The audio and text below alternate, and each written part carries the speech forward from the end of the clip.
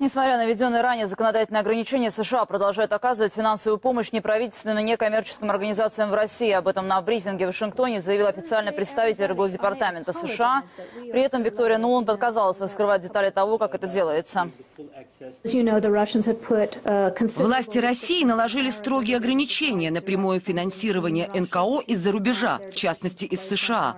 Однако мы продолжаем финансирование посредством представительств этих неправительственных организаций в Америке. В детали я вдаваться не буду, чтобы не ставить под угрозу саму программу помощи. Сейчас проходит выборочная прокурорская проверка некоммерческих организаций. В ходе нее предстоит выяснить, соблюдает ли НКО российское законодательство. Эксперты при этом полагают, что к тем, кто занимается решением социальных проблем, претензий возникнуть не должно.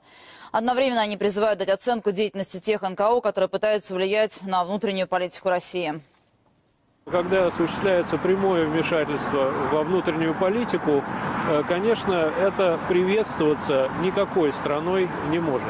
Я просто себе представил, что было бы, если бы, скажем, в столице Соединенных Штатов, Вашингтоне, работало порядка сотни неправительственных организаций, финансируемых, скажем, из Российской Федерации, оказывающих влияние на американскую политику.